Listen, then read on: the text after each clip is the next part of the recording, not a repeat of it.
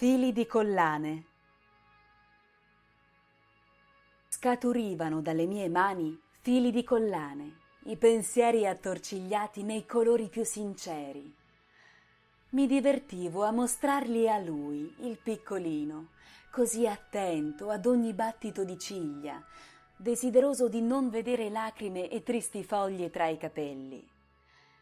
Volavano piano le dita ad incrociar per lame di fronte allo specchio delle nostre vite, con gli occhi abbassati dalla fatica del domani, e giocavano le intenzioni a nascondino, come i bambini di una volta, mentre tu le percepivi attentamente e non le facevi sfuggire quelle più importanti.